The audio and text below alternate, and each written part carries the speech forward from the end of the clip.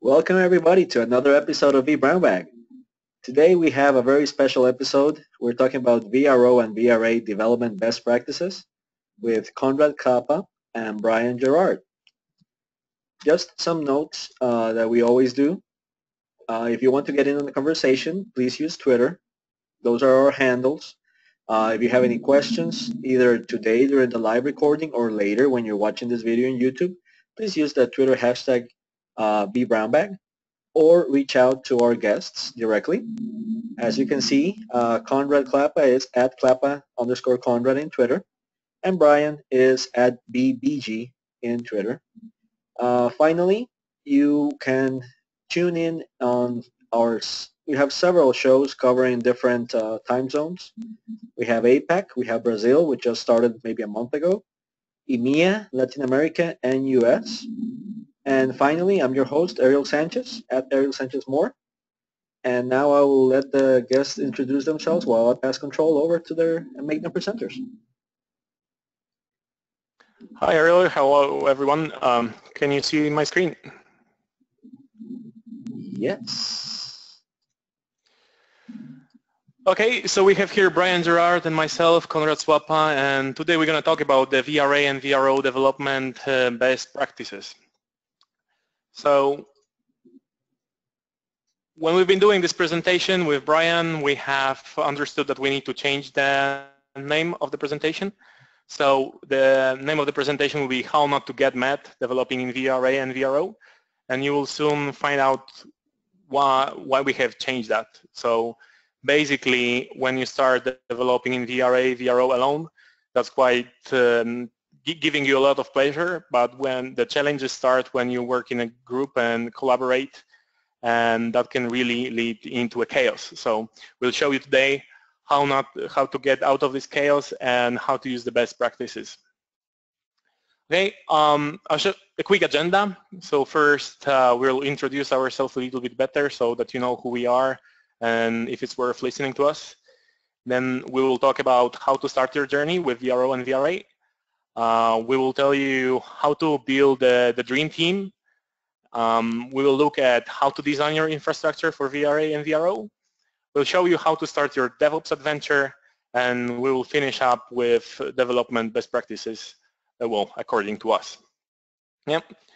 Um, so starting with myself, my name is Konrad Clapa. I'm global technical architect within Atos IT Services and I work, my, well, my, my main responsibility is design and development of the service catalog for our private cloud products. I have several years of experience with vSphere and for the last three years I've been working with VRA and VRO. Um, also WVCDX in domain of data center virtualization and cloud management and automation. And as Ariel said, you can find me on Twitter and um, you, you can find some articles on my blog, vcdx211wordpress.com. Um, Brian, can you introduce yourself, please? Yep, hi everyone. So I'm Brian Gerrard. Um, I'm a global cloud engineer, also at Atos IT Services. Uh, so I've worked very closely with Konrad over the last uh, three years or so. Um, so that's given me about three years of VRA and VRO experience. Um, prior to that, like most people, it was vSphere and I've got about six years experience with that. Um, within the CMA realm, I'm a VCIX 6 and as you've seen prior, um, you can get me on vBeeGee on Twitter. So um, please feel, feel free to get involved. If, if, you're watching it on YouTube after, then Konrad and I would love if you reached out to us with any questions or any discussions. Um, so now I'll pass back to Konrad. Basically, he'll start going, uh, introducing the journey uh, as we've seen it, and then I'll pick up later on to, to go through some best practices and um, code reviews. So thanks, Konrad. Okay, thanks, Brian, for the introduction. So let's start. The first question is how to start your journey. So for those who are not uh, really familiar with what VRA and VRO is, uh, we'll make a short introduction. So basically VRA is a cloud management platform that allows you to provision different kind of services into private and public cloud. So the main uh, service that you would use is the provisioning of virtual machines and uh, manage the life of those virtual machines. Now, VRA also has some advantages that uh, you can manage your resource resources, uh, mainly that would be vSphere resources in case of your private cloud. Um, you can create approvals and you can also manage your entitlements. And VRA also gives you um, some basic system for managing prefixes and IPAM. So those, those are the basic advantages of VRA and you can extend it using Orchestrator. So Orchestrator is a tool that can vi visualize your scripts and um, you can integrate with third-party tools. So uh, it, it's basically extending the capabilities of VRA. So imagine that your virtual machine is changing your state. So on every change state, you can trigger a VRA workflow that will connect to third-party system. So for example, it can act, active the, uh, uh, add virtual machine to Active Directory, or after provisioning of the virtual machine, it can actually add that virtual machine uh, to your CMDB system. Um, the VRO also allows you to create everything as a service workflows and integrate that with VRA. So you can publish uh, custom blueprints into VRA and order, you can integrate, for example, with NSX or any third-party system. So uh, you can order uh, software-defined network objects like security groups or uh, load balancers.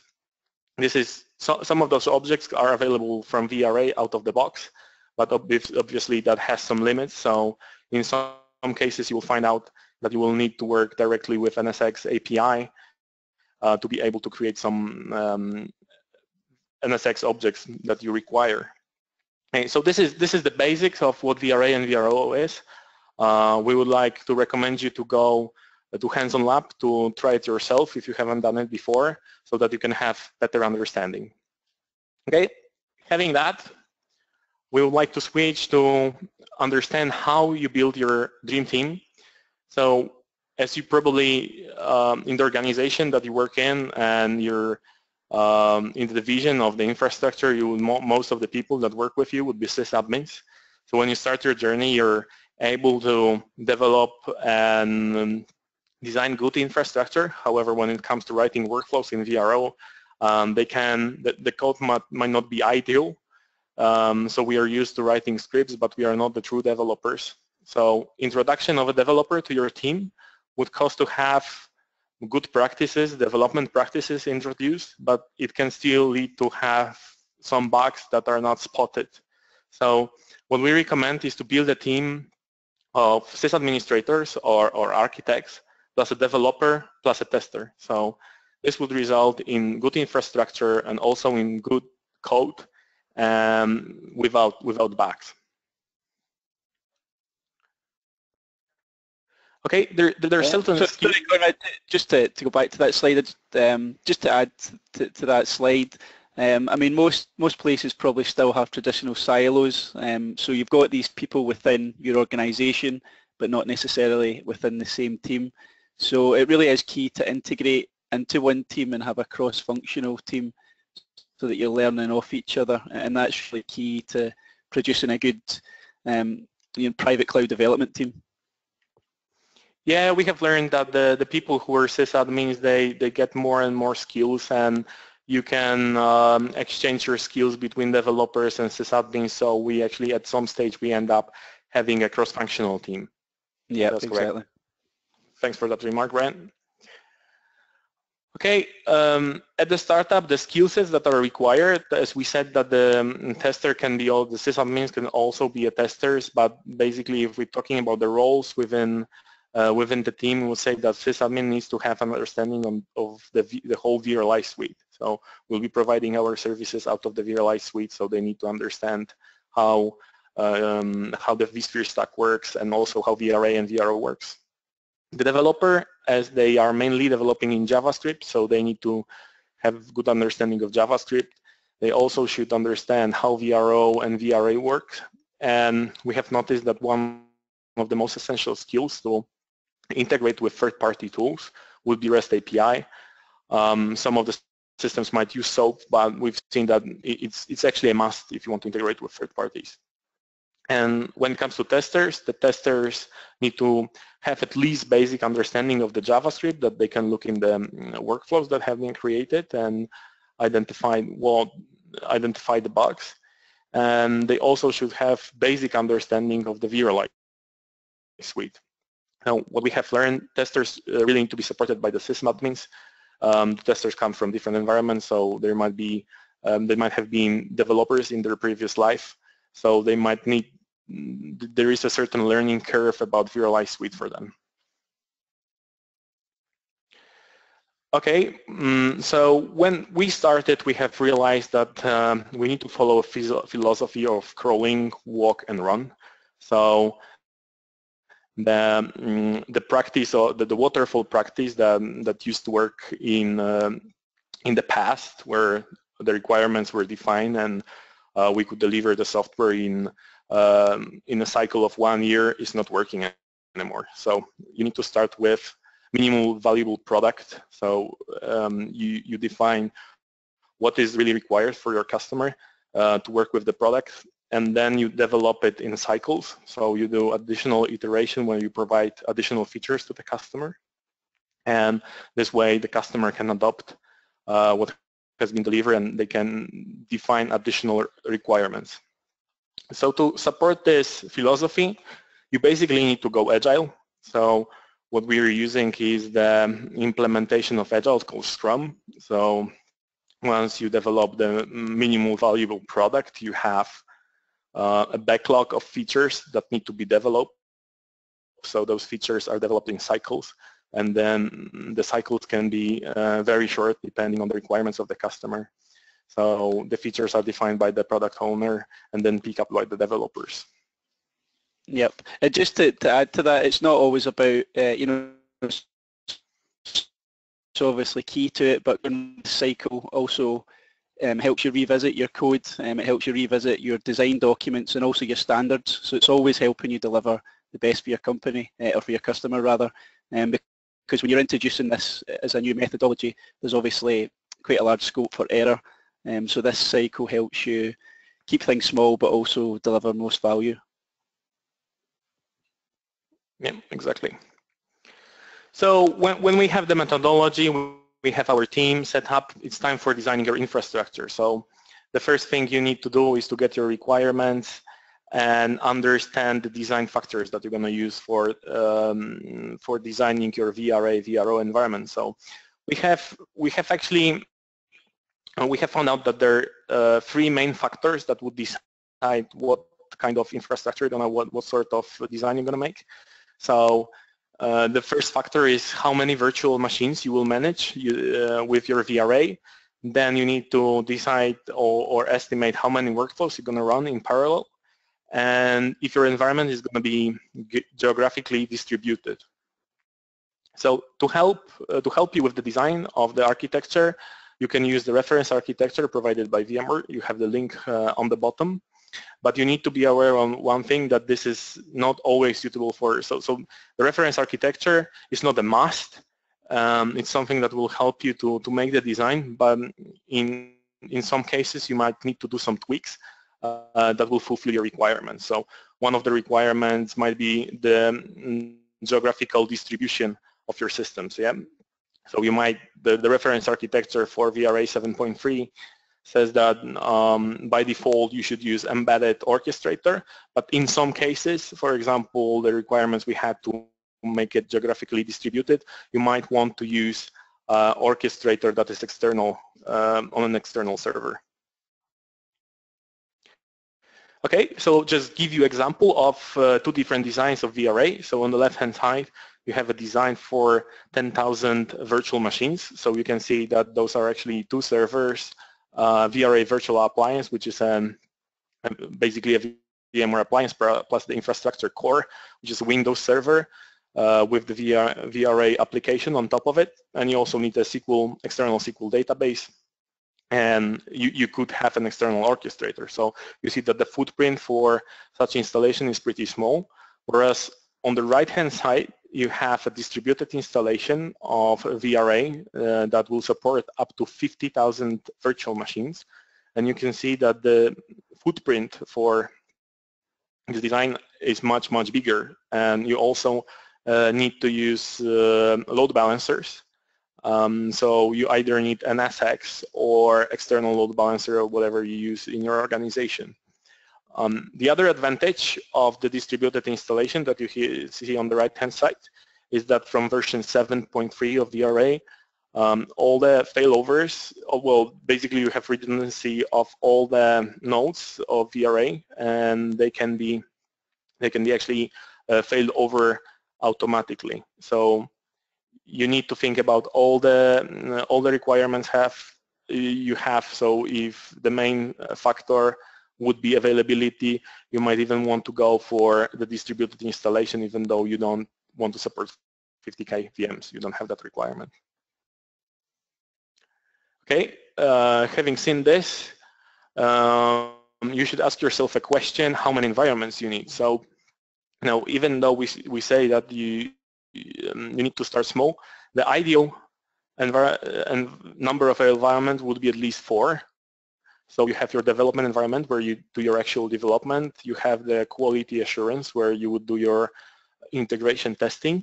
Then you have user acceptance tests where the user will be able to test the um, catalog items that you have produced or the services you have produced and accept them, and then you can go to the production.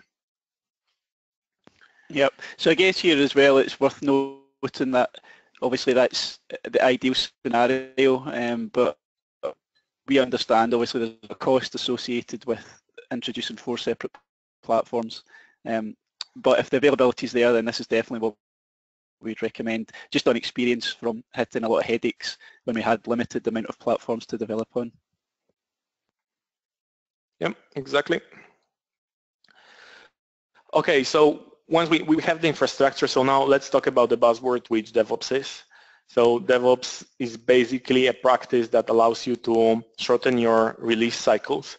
So as we said already, in, in today's time, you, you, you, just can't afford to have a long release cycles because uh, your customer expects new feature to be released more frequently. Uh, so basically it's quite, VMware gives you a lot of a lot of tools that allows you to do DevOps on the compute side, but when you're uh, trying to use the DevOps with Orchestrator, it starts to be a little bit challenging. So when we talk about DevOps, there are basically three different uh, development practices. So we have continuous integration, continuous delivery, and continuous deployment.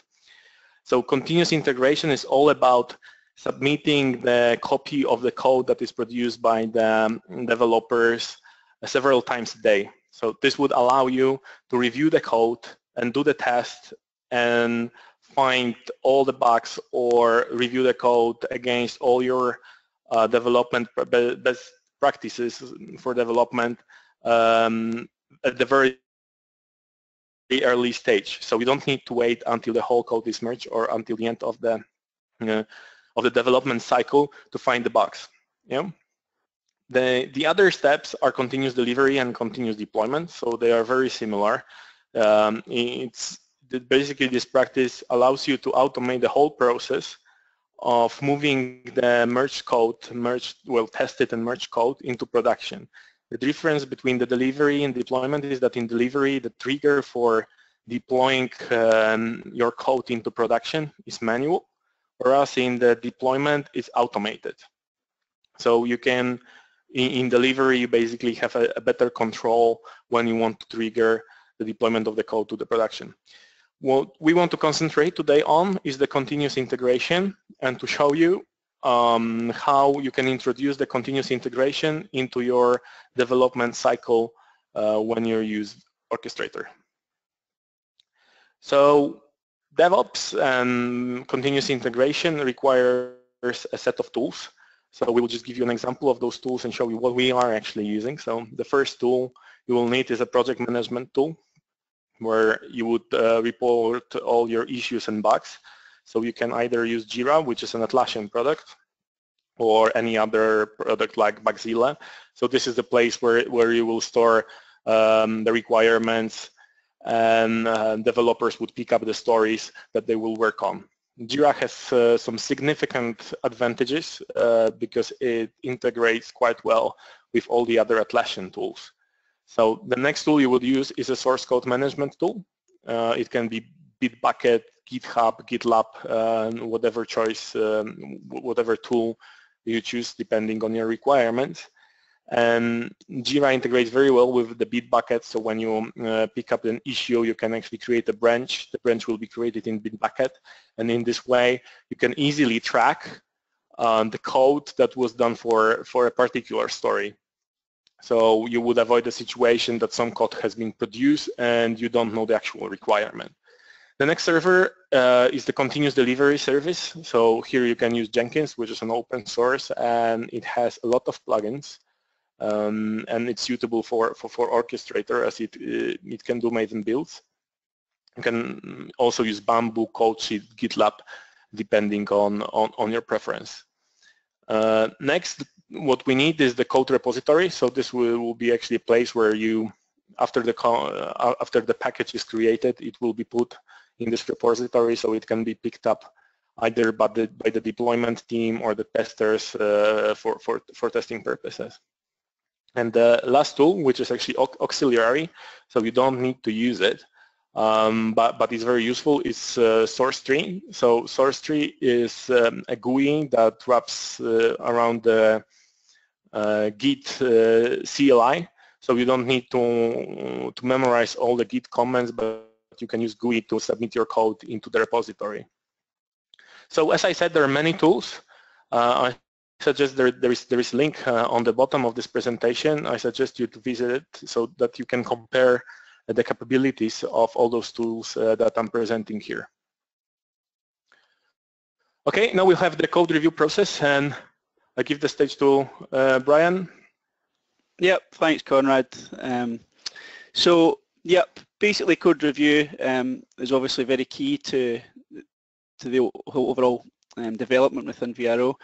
So if you don't mind jumping to the next slide, Konrad, um, I'll just show, obviously you've spoken about the tools that we've used. Um, from our experience, there's obviously a number of other tools out there on the market. Um, but how do they integrate with each other? Um, well, as Konrad said, the requirements up front um, are, are, decided and th those are broken down into smaller chunks of work within JIRA. That allows the developer um, to pick up small chunks of work and it means we can work more efficiently. So you can see in the middle part here, once the JIRA ticket is created with the task in hand, the developer can actually then go to work. So the code can be developed, um, code can be updated within VRO. Um, they can then export that work to a branch from the main resource, um, main source code um, within from Bitbucket in this example. Um, so that's basically what's happening in section 2, 3 and 4. So your developers developing in VRO, they're then submitting that small piece of work um, from a branch and trying to merge it back into the master branch. And that takes us to point six here, um, which is ultimately the, the review process. So if, if we do deem that that piece of code is accepted, um, we can follow the branch to number seven, um, whereby our, um, our source code will have a hook into Jenkins in this example. Um, from there we can auto-generate a, package within Nexus. So the whole point of this is that natively VRO doesn't offer, as Konrad said, a very nice way to review the code. We can export the package and we can import it into another VRO, VRO platform, but ultimately um, there's no native way to review that code and that's key. Um, so once we've got that package which has been updated in Nexus, um, we can then import it into our test environment. So this is when potentially we'll pick up any bugs. So you can see in step 11, the testers are going ahead uh, on their separate platform to test the work, any updates that's been created. If they see a bug, they will then raise another ticket within JIRA and we go back around this cycle again. So you know, it's all about making sure that any bugs are picked up and then it allows us to produce a, a bug-free package to implement into production. Um, um, it's worth so saying, one of the key things obviously we're speaking about is the, the Yep, go for it. Um, I think it's worth saying that that actually this is this is done. This whole uh, cycle is done for just one feature. So it's it's not done after we release the whole package. So this, this package yeah, exactly. is just one feature. So we can yep. find the bugs at the very early stage. Yeah, yeah, exactly. Um, and we when we do do that review process as well, um, the, the review team, if you like, should be this, the wide variety of that cross-functional team that we, we spoke about. So um, there should be a number of people who can review the code. Um, obviously, it's not mainly a developer. Um, it doesn't need to be a developer mainly because we also need the skills from the sysadmins. So I mean, this code could impact infrastructure-related um, code. So obviously, we need those skills as well. And it's in, it's pretty key here that this isn't a bottleneck. So the whole driver for automation is to, to make it more efficient and deliver quicker to our customers. So we don't want the, the review process to become the bottleneck in the, the workflow as well. So it's key to have a, a variety of people there within the approval team. Yeah.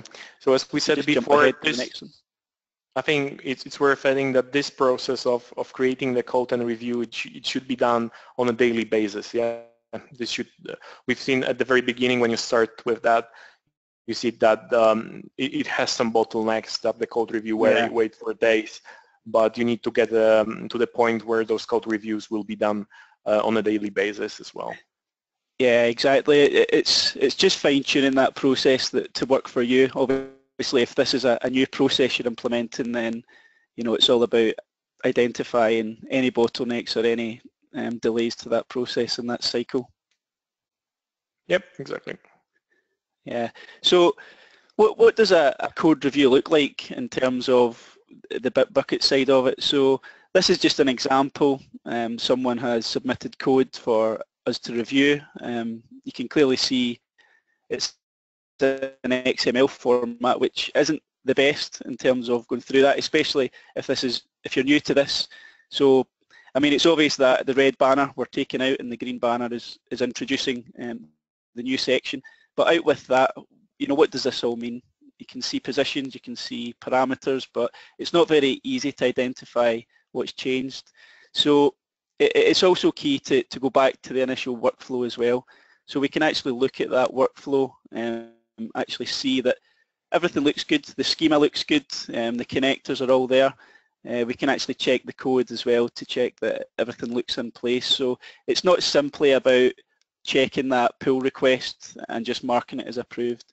You also have to go back and sort of look at the, the whole overall schema of the workflow that's in place. So once you're happy with that, if you just flick back again, sorry Konrad, in this example, once we would be happy, we would obviously, you know, tick the green tick. We are happy to do that.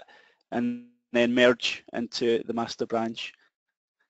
And as we say, that then allows the, the cycle in the previous slide to go to go around, build packages and let testers um, test that new feature. Thanks, Konrad.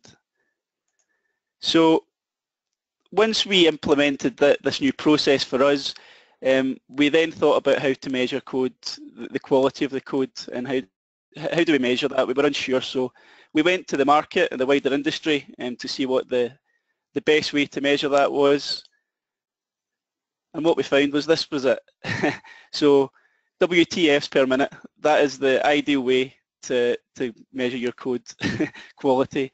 So the left-hand side, we've got good code, very few expletives, and uh, on the right-hand side, you can see there's a lot of people not happy with that, that pull request. So, but seriously, um, uh, just to highlight again that code reviews can be time consuming and you can see when you implement that, um, especially if you've got a large workflow that you've updated, it's really important, as Konrad said, to, to make that a daily task and dedicate proper time to the process. And as we say, that this is the, the point where you want to catch any bugs. This is where you want to identify that, you know, something has maybe been missed by a developer um, before we actually implement it in our QA cycle. So again, it's about limiting the bugs that we do have, and uh, again, it's about making it efficient and, and delivering on time and delivering the, the most efficiency to our customers.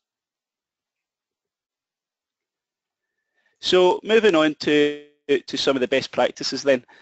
Um, if you just flick on Konrad, thanks. Yep. These are the VRO objects and depending on how familiar you are with VRO, um, you'll obviously have seen some of these before. Uh, a lot of these will speak for themselves, but we just wanted to show that understanding these objects is key to, to developing um, a nice, good, clean infrastructure and an efficient infrastructure. So, um, like I say, you have to understand these. So, for example, workflow. A workflow is a massive part of VRO, obviously, um, and it's introducing automation. But we can also do that through actions and scriptable tasks. So why would we choose one over the other? Well, a workflow um, allows us to return multiple items in comparison to, for example, an action which would only return one item. So all these choices to use a specific object will impact your design choices when you when you're designing and creating a workflow. Um, and there's also other things to note, for example, the nested workflow. So that comes with a, a performance overhead. Generally what we found is that it's not actually recommended to, to use that, a nested workflow. Um, so again, bear in mind these things when you're designing uh, your workflow. And finally, um, you know, you, you, if you're familiar with VRO uh, or not, you could actually do all of these within just a scriptable task. So for example, a sleep weight or a decision. And why would we use this rather than just not putting it into a scriptable task? Well, for us, the power of VRO is actually visual, visualizing the whole workflow. So you can actually see from start to finish if you use the, the correct objects, what are you doing with this workflow? What is the objective of it? You know, it gives a good structure when you start to use these objects uh, in an efficient manner. Um, and not only that, it allows new members to your team to, to be able to digest the workflow and debug it in a, in a better manner as well. So, you know, just overall, just make sure that you understand these objects and um, choose the correct decision when you're creating that workflow. Yeah, in, in general, I would say that the good workflow would be that when you first look at it, you, you know what the modules are. You don't need to go into the scriptable task to see what it's actually doing, so it's well described and, and visualized. Yeah, exactly. We're, we're, trying to do that. The, whenever a new feature needs to be introduced, it can be easily the workflow can be easily updated because it's from the first side. It's it's easy to understand what it's actually doing. Yep, exactly that. Thanks, Konrad. So some of these best practices, um, when you read through these, might seem very obvious, but you'd be surprised how many times we witnessed them not being used. So the first step would be to create a good folder structure and a good naming convention. So our example on the right hand side in the screenshot, it's clearly showing that we've broken out the folder path to a specific customer and then we're also grouping some common workflows into its own folder. So these common folders or these the common folder would include workflows which can be reused by um, many other workflows as a reference point. So whether that be VM decommission or, or backing up. Um, so you want to have a good folder structure in, in terms of naming convention, uh, easily identifiable. But that same goes for workflows and actions and all the objects we spoke about previously.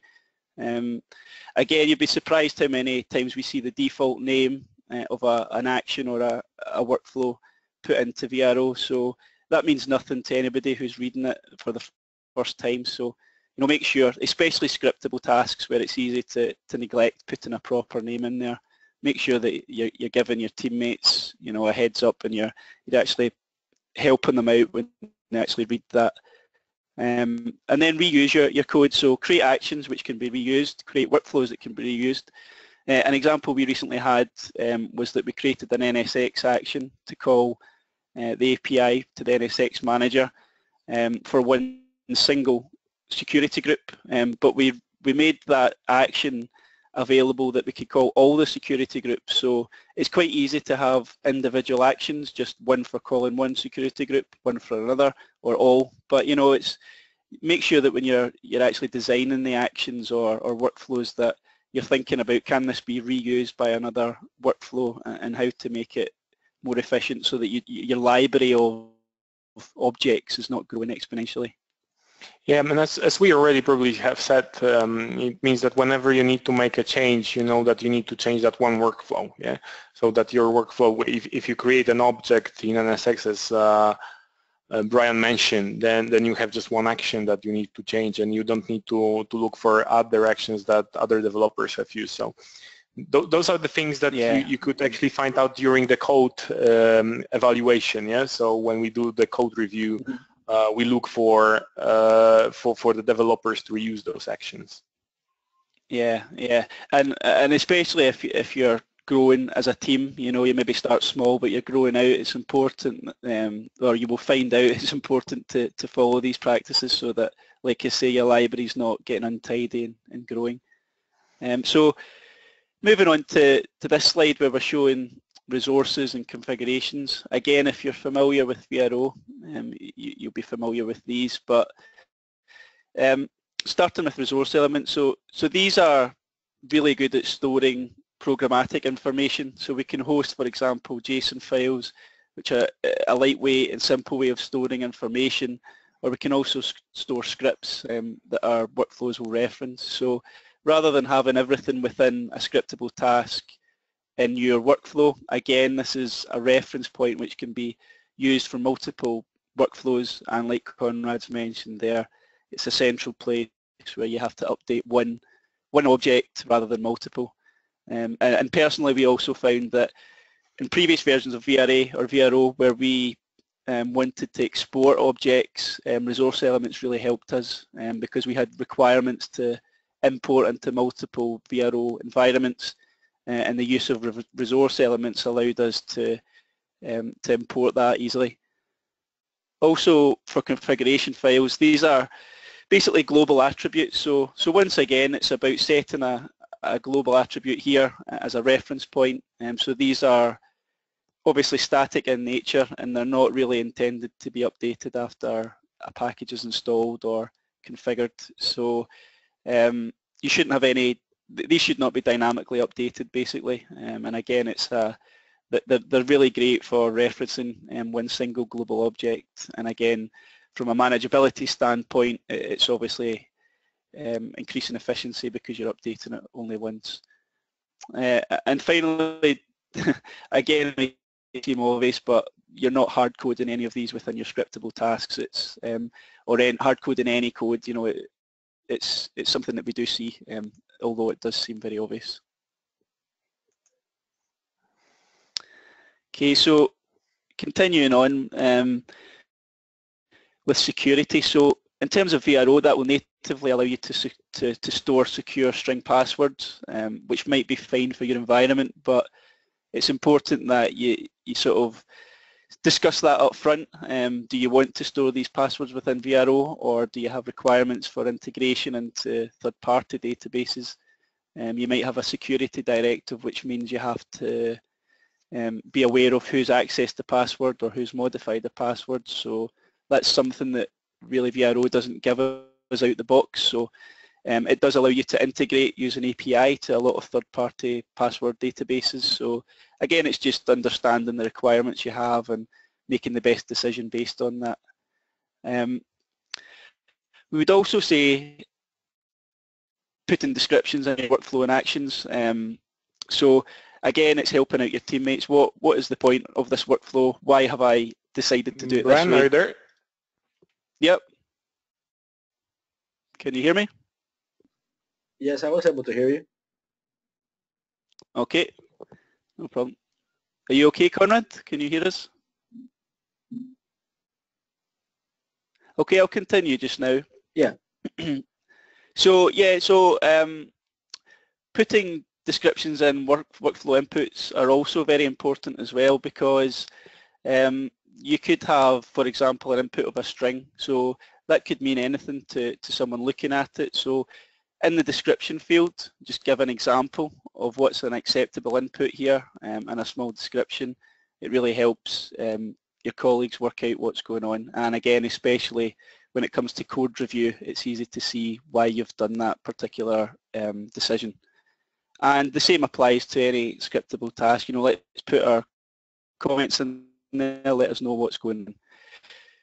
One thing also which is, is missed a lot is the, the native VRO version increments. Um, so we've seen this neglected many, many times. So out the box, VRO allows you to increment any changes you've made. So every time you save a, a workflow, for example, you can increment that version. Now, the good thing here is that it allows you to flick back to the previous version, so you can actually revert back if needed, or you can even compare the differences between a previous version um, and the, the latest version. So again, we see it neglected and it, it's really helpful, especially in your development lab where you maybe want to, to update something for a small period of time and then revert back.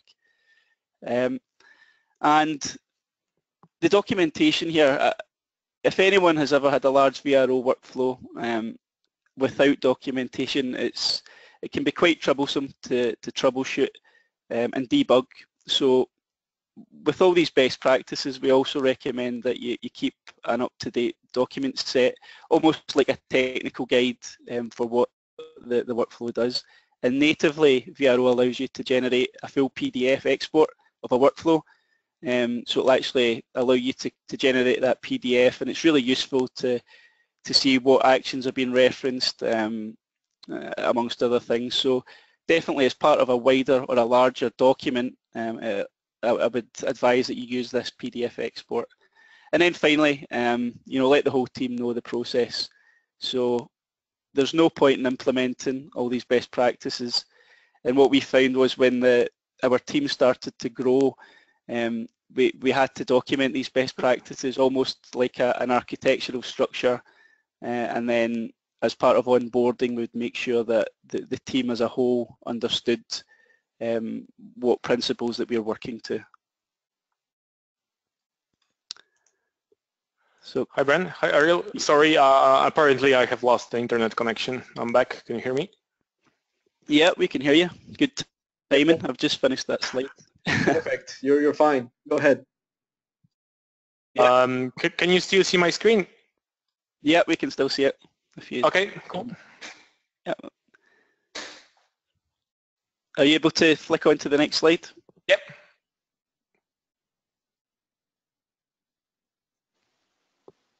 Can you see it, or it, it, uh, it's, it's still it's still on. Uh, let, let me let me make him panelist again. Hold on. Okay. So I made Konrad panelist again, and maybe you have to present again. Yep, that looks good. Um, if you uh, go to the VRO and third-party integration. Yep, second. Yep, yep. that's us, back on track. Perfect. Thanks, Konrad. So, um, yeah, so VRO also allows you to integrate um, with third parties via what they call plugins. Um, so you'll see a variety of vendors will release plugins to integrate. Um, and what we found was you have to decide on one interface. So basically, um, there could be multiple ways to interact with that vendor. So you, you may have the plugin, or you might also have your own actions to use API calls and some vendors, for example, um, backup technologies may allow you to SSH onto their appliances. So you don't want to be in a state where you're, you've got multiple people developing workflows for the same product, um, but they're using different ways to interact with that product. So decide on um, the interaction that you'll have. So will it be the plugin, a REST API or SSH? and also decide where to, to store your REST operations. So these could be again, a resource file um, in JSON format, format, as we discussed earlier, or they could be, be stored elsewhere in your the code in your workflow. So um, again, it's something to, to think about where you want to store these and make sure it's a consistent um, way of working across the whole team. And then finally, again, maybe sound, sound obvious, but you have to educate the operations guys in particular um, that vCenter is no longer the, the key thing here. Um, you don't want to manipulate a virtual machine um, and then risk the VRA database becoming out of sync. So especially when you're working with perhaps day two operations, so you might create some a service catalog which will add storage or uh, integrate in any other say, day two operation. There's an overhead if that if you contact vCenter directly. So always use the the reconfigure option within VRA and then that means that you don't have to run an inventory after every day two operation. Yeah, you might even consider about narrowing the permissions that you give to vCenter for your operation team uh, so that no one by mistake even or by not being aware modify your virtual machines in the vCenter. Yeah, exactly, exactly. Okay, and then um, finally, just to speak about some of the VRA best practices that we've had. Again, naming conventions, again, it might seem obvious, but make sure all your objects are consistently named. So whether that be services or entitlements or blueprints. And then depending on the version of VRA you're using, um, use build profiles or property groups. So th these are really good. They're basically um, a group which holds common properties and they can be attached to multiple blueprints. So again, from a manageability standpoint, um, you're not having to update custom properties on multiple blueprints. You've got a central location here where you can update and it's nice and quick. Um, one thing, I mentioned earlier that we had requirements to export and import um, VRA objects, so we did find issues with special characters in any of the, the naming conventions, so we would advise against using any special characters when you're, you're naming your, um, your VRA objects. Um, also, if you're using VRA as a portal, um, the out, out the box catalog forms might not give you exactly what you want. So there's different methods to, to customize this through what's called ASD um, or the design designer now within the latest version. Um, so that will basically allow you to manipulate the presentation of a, a, a catalogue form. And there's multiple ways to do that as well. So there's either through the ASD form itself or through the presentation layer in VRO. Now personally, we feel that the VRO presentation layer is the ideal way to do that. Again, it's easier to export and import any changes. We'll go through the, um, the code review process. But it's something you might want to think about. Um, certainly, as I say, if out the box it doesn't meet your requirements. And then the last one I wanted to mention that this is a bit of a unique use case, but we also had a, a requirement um, where we had geographically split deployments. So we had a lot of vCenter endpoints, and as a consequence, without the bo uh, out of the box in VRA, that would then require you to have multiple blueprints of the same nature, um, obviously pointing towards each vCenter endpoint. So we found, again, using the, the resource elements we spoke of earlier, we can programmatically update that so that um, a, a, deployment would then only need to reference one of a number of blueprints. So we could share those blueprints amongst a larger target area, uh, amongst all the multiple endpoints we had. Um, and that definitely helped us again from a manageability standpoint um, and helped the operations guys when it came to having to update blueprints. And so rather than having multiple blueprints to update, we had a limited amount. So, I mean, that, that's just one we wanted to put in. We're, we're quite happy to, to speak about that again uh, if needed. Um, so yeah, that, that's basically our, oh sorry Konrad, on you go. Yeah, I mean, the key here is the simplicity, yeah, and, and, and make it as minimal exactly. Uh, footprint as, uh, as possible and make it as manageable as possible. Yeah, definitely. Okay, so we have seen that already a number of challenges, but we have identified when, when you're going deeper into development with VRA and VRO, and especially when you need to uh, integrate Orchestrator with VRA and modify objects, there are a number of challenges that can show up. Uh, so the first challenge would be when you need to modify VRA objects. So I'm talking about objects like entitlements, manage virtual machines, approvals uh, or uh, tenants, etc. Um, so those objects, you, you basically have a plugin for VRA that can that allow you to modify a lot of objects, but it, it doesn't have all the options that you require. So you need to bear in mind that there are actually two databases. So when when we've been talking about the infrastructure, I'll show you that there is a VRA appliance and the IaaS server. So basically the VRA appliance has the vPostgres database and uh, the IaaS uh, server, it's using the SQL uh, server. So you need to bear in mind that the objects from VRA, the ones that you see in the portal, they can be either stored in the vPostgres database or the SQL database. So just to give you an example, um, when we're talking about the virtual managed virtual machines, th those entities would be stored in the uh, SQL database, whereas the items, so basically the items that you have provisioned, like virtual machines or any other objects that you have mapped to VRA, um, that would be stored uh, in the vPostgres database.